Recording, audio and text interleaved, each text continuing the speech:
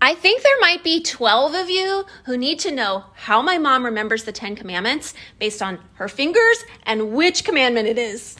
Also, I sped it up a little. It was the right thing to do.